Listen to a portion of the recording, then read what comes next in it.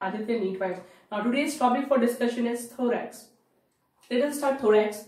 Now thorax the, uh, is the Latin word which means chest. Actually thorax means chest.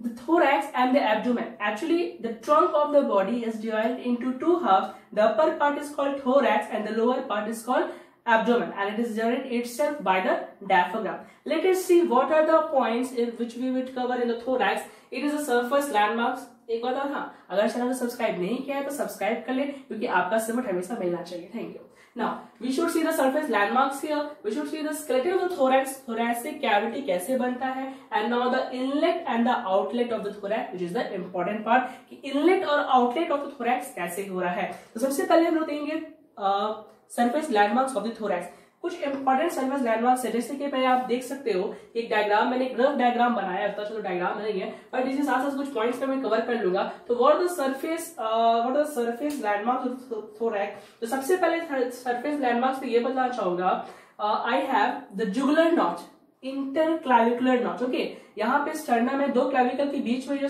Notch आपको दिख रहा है this is the jugular notch और inter clavicular notch the first landmark now jugular notch और jugular notch के five centimetre आप down जाओगे तो आपको आपको ट्रांसवर्स एलिवेटेड रिज दिखेगा।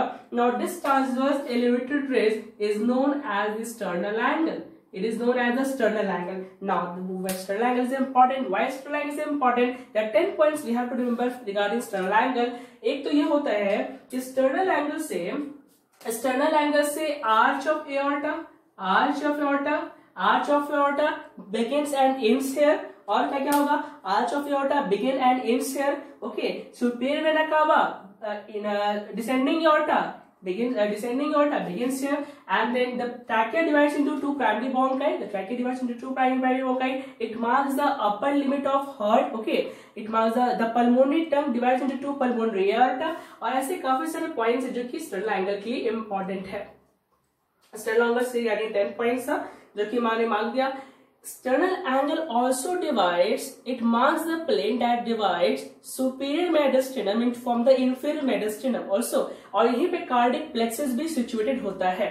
Now this is the sternal angle. और क्या दिख सकता है external angle के अलावा हमें Xiphisternal joint. Yes, this is the xiphoid process of the uh, of the sternum and this is the xiphisternal joint this is the xiphisternal joint है now we have the sternum here which is the hatchet shaped sternum और यहाँ पे facet भी दिख सकता है आपको facet ribs के articulation के लिए we have the costal cartilages here we have the 12 pair of ribs Now we have the 12 pair of ribs here. Now this is the manubrium sterni. This part is called the manubrium sterni. This is the sternal angle. This is the manubrium sternal joint. Also very important, sternal angle marks the manubrium sternal joint. Now manubrium sternal joint हो गया 12 pair of ribs है काफ़ी common है कि two ribs vertebro sternal ribs vertebro corner ribs and forceps कभी कभी thirteen pair of ribs पे pair हो जाता है, जिसे हम लोग गोरिला रिप्स भी कहते हैं। हालाँकि सर्वाइकल रिप्स के बारे में क्लिनिकल में डिस्कस करूँगा। सो वी शुड हैव तो सरफेस लैंडमार्क्स में हमारे पास स्टर्नल एंगल आया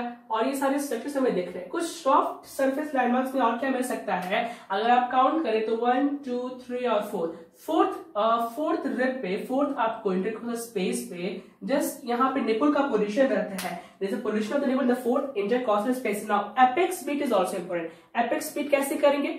जस्ट निपल के नीचे निपल के नीचे मीडियली निपल के नीचे मीडियली एट और nine centimetre from the mid sternal line आप एपेक्स बीट को परकस कर सकते हैं और सॉरी ऑसल्टेट कर सकते हैं so we have the mid sternal line mid sternal line we have now mid clavicular line we have and the and the if this is the if this portion is the axilla then we have the mid axillary line also so these are the some tissue, uh, soft landmarks and we have the uh, some uh, landmarks here now, let us discuss inlet of thorax and the outlet of thorax. सबसे पहले inlet of thorax. Inlet of thorax is called superior thoracic curvature. Inlet of thorax. कौन कौन से structures होंगे जो inlet of flex से पास करेंगे? Viscera होगा लार्ज वेसल्स होंगे स्मॉल वेसल्स होंगे नर्व्स होंगे मसल्स होंगे. ओके सो एक और इससे पहले मैं बताना चाहूँगा कि इनलेट ऑफ़ थोरैक्स जो प्लेन है ना, ये कितना डिग्री बना रहा है? 45 डिग्री 45 डिग्री बना रहा है. There is also one important term here, the sepsons fascia, also called as suprapleural membrane. अब एक बहुत ही इंपॉर्टेंट पॉइंट आ जाता है कि this is the now thoracic cavity abdomen के डायफ्राम की जो ऊपर is thoracic cavity now thoracic cavity अब now this thoracic cavity extends upward narrowly uh, towards the neck and which is separated by the sepsins fascia also known as the suprapleural membrane तो यहाँ पे सिप्सन्स फास्शिया होता है। Sibson's fascia की boundaries एंचुअली posteriorly Sibson's fascia is a triangular shape का आप देख सकते हो। सिप्सन्स फास्शिया से ये फ़र्स्ट रिब है। ये फ़र्स्ट स्ट्रिप है। ओके एंड इसी इसी फ़र्स्ट स्ट्रिप से क्या पास कर रहा है? Subclavian artery and the subclavian vein, and this is the triangle sepsis fascia both sides होगा sepsis fascia विसरा में तो let us to inlet of thorax viscera में क्या हो सकता है? तो विसरा में ईसोफेगस है। ईसोफेगस है, ट्राकिया है, और क्या क्या है? तो apex of the, apex of the lung है। This are the parts of the viscera now let us come to the large vessels जैसे कि हमने यहाँ पे डिस्कस कर दिया था कि arch of aorta begins in share okay now arch of aorta begins in share तो लार्ज वेसल्स में क्या क्या हो सकता है? अब आर्च ऑफ़ योटा से पल्मोनरी टैंक निकल रहा है। तो brachiocephalic artery right brachiocephalic artery inlet से निकलेगा राइट ब्रैक्योसेफलिक आर्टरी है, और कौन बच गया? Left common common carotid artery है and the left subclavian artery also so यहाँ पे लार्ज वेसल्स में हो गया। स्मॉल वेसल्स में क्या क्या हो जाएगा? स्मॉल वेसल्स में हो जाएगा right and left right and left first intercostal arteries हो जाएगा। Right and left first intercostal arteries हो जाएगा। नर्व्स में क्या हो जाएगा? नर्व्स में आ जाता है right and left vagus nerve right and left phrenic nerves और लास्टली मसल्स में क्या आ जाएगा? तो मसल्स में sternohyoid muscle sternothyroid muscle and the longus colli muscle तो this are the parts of the inlet of thorax इसी को inlet of thorax inlet of thorax inlet of thorax we should, we should see the thoracic inlet syndrome or inlet thoracic syndrome ये क्या होता है? Inlet thoracic इलेट syndrome को हम लोग Costa clavicular syndrome भी कहते हैं। होता क्या है कि कभी कभी कभी कभी समटाइम्स एक्स्ट्रा रिप और सर्वाइकल रिप अपीयर ये जो सर्वाइकल रिप होता है ना, जो यहाँ पे डिस्कस भी कर रहा था सर्वाइकल रिप ये करीबन 0.5 से 1 परसेंट पॉपुलेशन में अपियर करता है। ये वैसा रिप है जो कि सेवेंथ वर्टिब्रा यानी कि सेवेंथ सर्वाइकल वर्टिब्रा से अटैच होगा। Seven cervical vertebra you better know that is it vertebra prominens which is the first prominent eminence at the back of the vertebral chain so कभी कभी ये cervical lip appear करता है। ना इस cervical lip के कारण अगर if there is a compression of vessels nerve subclavian artery या वेसल्स हो जाए, अगर ऐसा कॉम्प्रेशन हो जाए इरिटेशन हुआ हो जाए टॉर्चुअस कंडीशन हो जाए तो it may cause inlet thoracic inlet या inlet thoracic syndrome costa clavicular syndrome okay तो साथ ही साथ हमारा दोनों पॉइंट कवर हो गया है।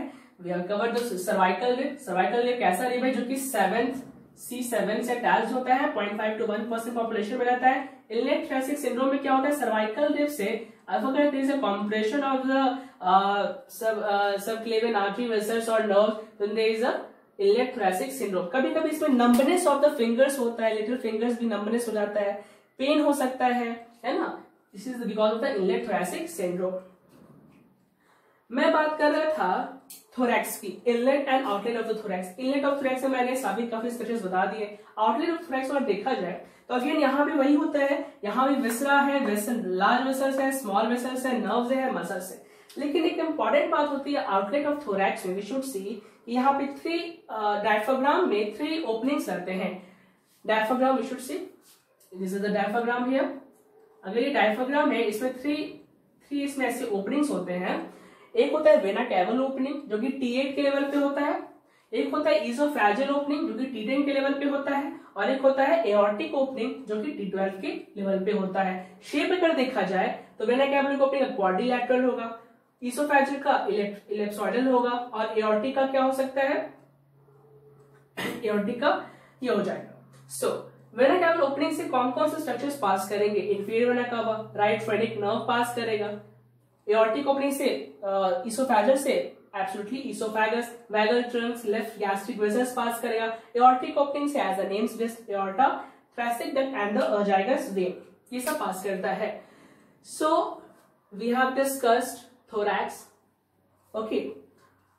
Thorax colour skirting की मैं बात करूँ तो क्योंकि मैं बता रहा था कि एक हमारे ट्रंक को दो भाग में बांट दिया गया है डायफाग्राम से। तो डायफाग्राम का बेसिकली शेप कैसा होगा? अगर आप आदर्श की बात क्वाड्रापेट्स में क्वाड्रापेट शेप का होता है, देख लो यहाँ पे, ये क्वाड्रापेट शेप का है okay now this is somewhat bean shaped bean shaped okay and this is somewhat तो इन्फेंट्स में अगर बात करोगे इन्फेंट्स में तो इन्फेंट्स में ये क्या होता है? वो सर्कुलर कैसा हो जाएगा? सर्कुलर हो जाएगा. और ह्यूमन एडल्ट में बीन शेपेड हो सकता है। अगर से ट्रांसवर्स सेक्शन देखेंगे तो these are the things in the intro of and and next this is the part one next part में हम लोग फैसिक वॉल कैविटी और खासकर प्रोडक्ट के बारे में डिस्कस करेंगे surface marking thanks for watching and please support by subscribing channel thank you